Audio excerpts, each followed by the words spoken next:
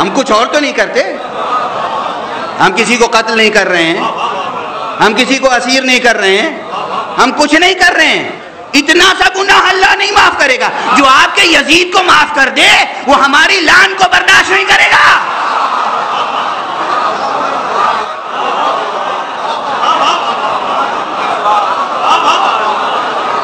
یہ کون سا انصاف ہے؟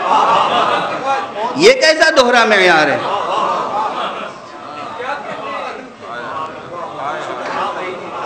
اس لیے سمجھیے کہ جیسے توحید ہے، ایسے ہی شرک ہے۔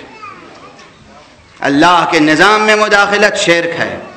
زبان سے کوئی کلمہ لا الہ الا اللہ کہتا رہے اور مداخلت کرے اللہ کے نظام میں۔ یہ شرک ہے، اللہ کو یہ برداشت نہیں ہے۔ اس کے علاوہ جو کچھ بھی انسان گناہ کرے، گناہ سرزد ہو جائے، سہون یا آمدن۔ اس کے لیے باب استغفار کھلا ہوا ہے۔ اس نے کہا، تم استغفار کرو۔ اور دیکھو، مایوس نہ ہونا۔ تمہارے استغفار میں اگر آسمان تک اٹھنے کی صلاحیت نہیں ہے، تو ہم اپنے فرشتوں اور ملائکہ کو حکم دیتے ہیں کہ وہ بھی تمہارے لیے استغفار کریں۔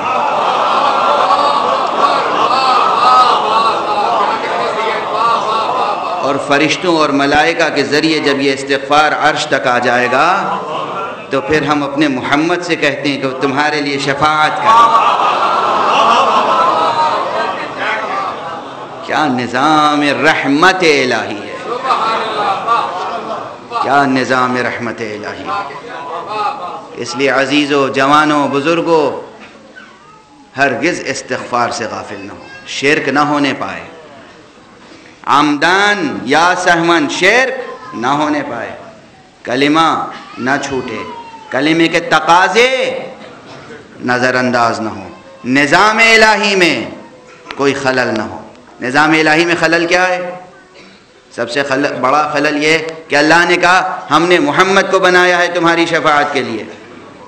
ہم کہیں کہ نہیں، ہم جسے چاہیں گے اسے شفیع بنائیں گے۔ یہی شرک ہے۔ یہ سب سے بڑا شرک ہے۔ زبان سے کلمہ لا الہ الا اللہ کہنا، عمل سے نظام الہی کو ٹھکرا دینا، اس سے بڑا اور اس سے بدترین شرک نہیں۔ ایک شخص وہ شرک، مشرک ہے کہ جو زبان ہی سے قبول نہیں کرتا، لا الہ الا اللہ۔ کچھ نہیں ہے۔ وہ زیادہ بڑا ظالم نہیں ہے۔ زیادہ بڑا ظلم یہ ہے کہ انسان زبان سے کہے لا الہ الا اللہ۔ اور عمل سے لا الہ الا اللہ کے تقاضے پورے نہ کرے۔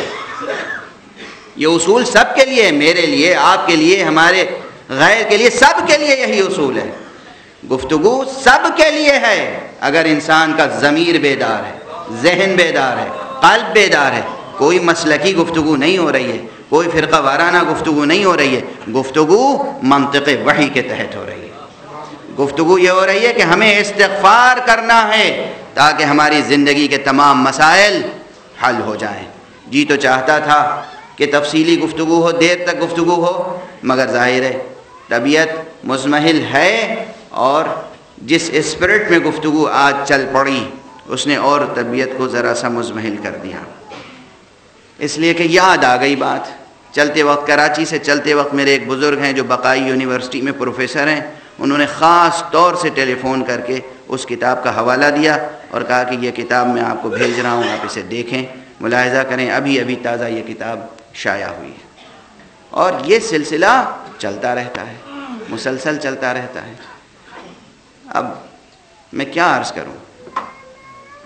ایک آدھ جملے اور کہی دوں۔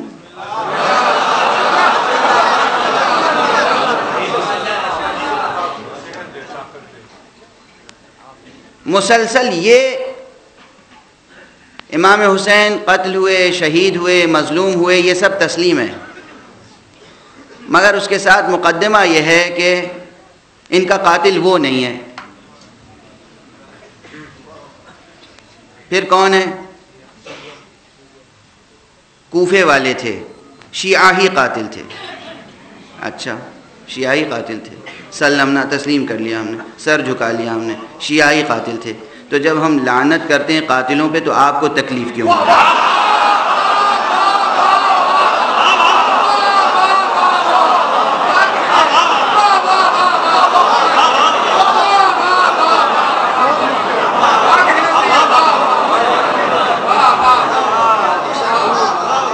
ہم کیا کرتے ہیں؟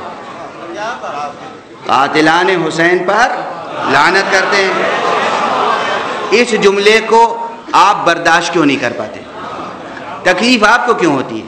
آج تک کوئی شیعہ عالم یا مولوی کمزور سا کمزور مولوی بھی پیدا نہیں ہوا جس نے کوئی چھوٹا سا مضمون لکھا ہو کہ قاتلان حسین پر لانت جائز نہیں ہے۔ لانت نہ کیجیے۔ آپ کے یہاں پوری فہرست ہے۔ آپ کے بڑے بڑے ثابت کرتے رہے ہمیشہ۔ لانت جائز نہیں ہے لانت جائز نہیں ہے لانت جائز نہیں ہے۔ کس کے لیے جائز نہیں ہے؟ قرآن میں لانت موجود ہے، آپ کی فقہ میں جائز نہیں ہے۔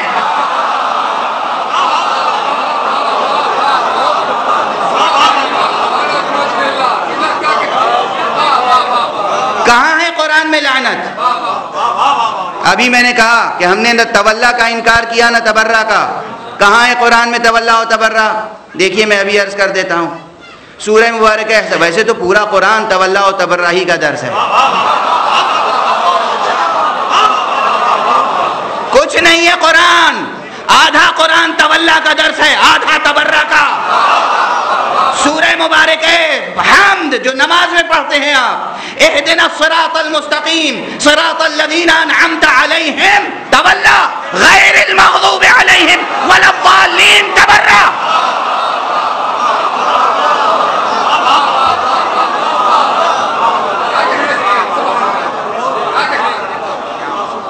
توحید لا الہ تبرا الا اللہ تبلا اس میں یہی طے کرنا ممکن نہیں ہے کہ پہلے تبرہ ہے یا بعد میں تبرہ۔ دین میں کہیں پہلے تبرہ ہے، بعد میں طلّہ کہیں پہلے طلّہ ہے، بعد میں تبرہ۔ ہر سخن موقع ہو، ہر نقطہ مقام ادارت ہر چیز کا موقع محل ہے قرآن مجید میں۔ لیکن اس وقت ایک خاص مقام کی طرف بس اشارہ کر دوں۔ سورہ مبارکہ احزاب، جس کی کل تہتر آیتیں ہیں۔ کتنی؟ تہتر مسلمانوں کے فرقے کتنے ہیں؟ تہتر سورہ احزاب جو سمجھ لے، وہ وہ راز پا جائے گا کہ ناجی کون ہے؟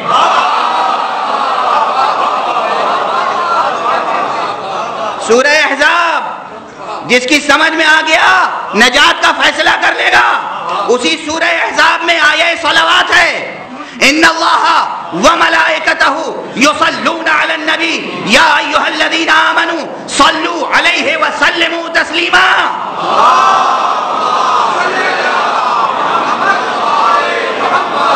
یہ کیا ہے؟ آئے صلوات، روح صلوات کیا ہے؟ تولہ۔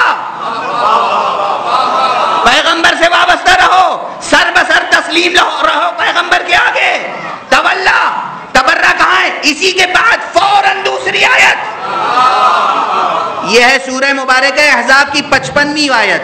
چھپنویں آیت کیا ہے؟ ان الذين يؤذون الله ورسوله لعنهم الله في الدنيا والاخره واعد لهم عذابا مهينا صلوات کی آیت کے فوراً بعد بلا فصل اور جو لوگ اللہ اور اللہ کے رسول کو اذیت دیتے ہیں ان پر اللہ کی لعنت ہے، دنیا میں بھی، آخرت میں بھی۔ قرآن قرآن قرآن۔